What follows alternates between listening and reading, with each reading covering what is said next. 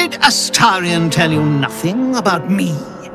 I am the immortal Cazador And I always get what I want. Cazador sired seven spawn. Me and my six brothers and sisters. We all got the same treatment, but did take special pleasure in my pain. He said, my screams sounded sweetest.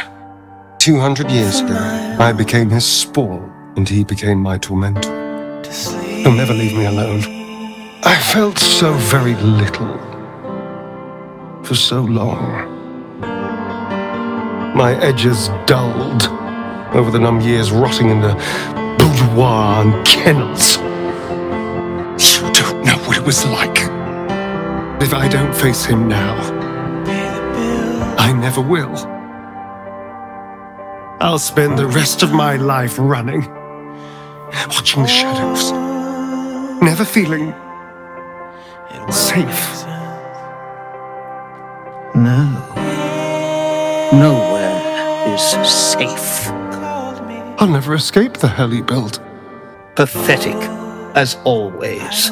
He is incapable of anything. He is afraid. He is afraid because all he has ever known is you and me.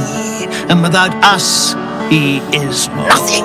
A small, pathetic little boy who never amounted to anything. You are mine.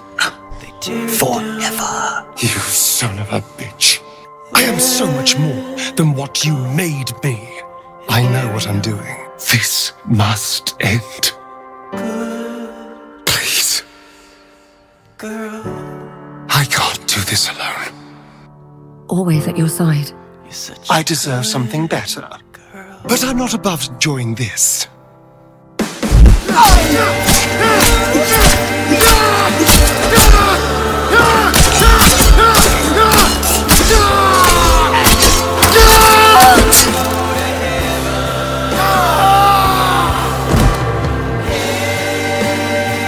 Fuck you. And fuck everything you've ever done to me. I am the greatest vampire to ever walk this land.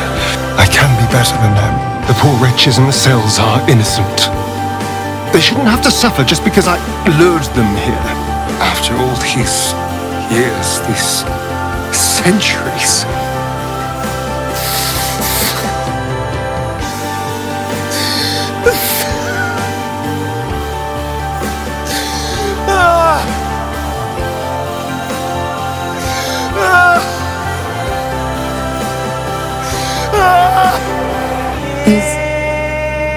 Is it over? Is he.